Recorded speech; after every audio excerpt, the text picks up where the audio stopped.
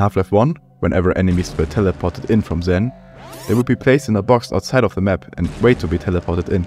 In the map C1A1C, the one with the large freight elevator, if you noclip into this box and turn on your flashlight, you will find the Box of Gaben. This is also, I'm pretty sure, the only time this texture is ever seen in Half-Life.